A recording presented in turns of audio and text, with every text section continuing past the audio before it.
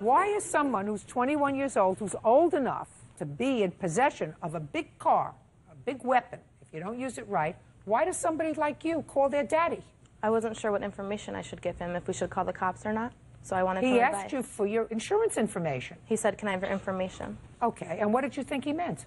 My What did you number, think he meant? some Your way to height, your weight, your color, your eye color? Some way to get in touch with me. Then you shouldn't be driving a car. If you thought he wanted some way to get in touch with you, then you shouldn't be driving a car. I thought the cops should have been called then if he wanted my insurance information. So, fine. You went into your car and you called your father. Yes, ma'am. Did your father say call the police? No, that's why I didn't. Well, what did your father say to you? He said, "Give him your information." And what information did he say to give him?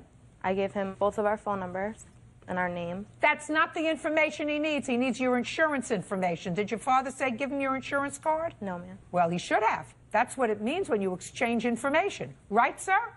Yes, ma'am.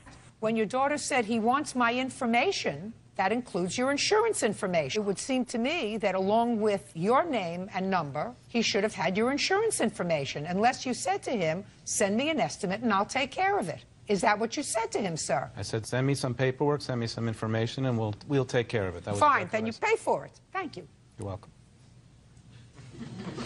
Wrong thing to do. You got to act responsibly. You look like a nice girl.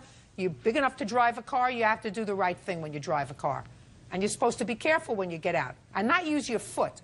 You know, they call that the Florida foot. I live in Florida. They get out of the car, they open the car door, and they go, boom!